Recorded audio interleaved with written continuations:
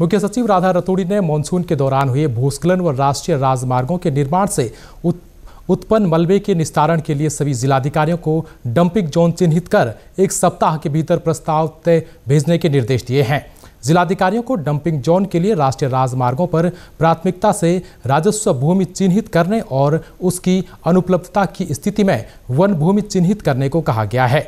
उन्होंने BRO NHIDCL व PWD के अधिकारियों को निर्धारित डंपिंग जोन में ही मलबे के निस्तारण के नियमों का सख्ती से पालन करने के निर्देश दिए हैं। मुख्य सचिव ने डंपिंग स्थलों पर ग्रीन पैच विकसित करते हुए बाँस का रोपण करने के निर्देश दिए हैं। सीएस के निर्देशों के अनुसार ऐसे स्थलों पर तेज़ी से विकसित होने वाले पौधों का रोपण किया जाएगा, जो भविष्य में क्रैश बैरियर के रूप में उपयोगी सिद्ध होंगे। डंपिंग से संबंधित संस्थाओं ने राज्य में अगले पाँच वर्षों की आवश्यकताओं को ध्यान में रखते हुए कुल इक्यासी दशमलव निन्यानवे हेक्टेयर भूमि की मांग रखी। इसमें वर्तमान में पचपन दशमलव उनहत्तर हेक्टेयर भूमि व अगले पाँच वर्षों में छब्बीस दशमलव तीन शून्य हेक्टेयर भूमि शामिल है।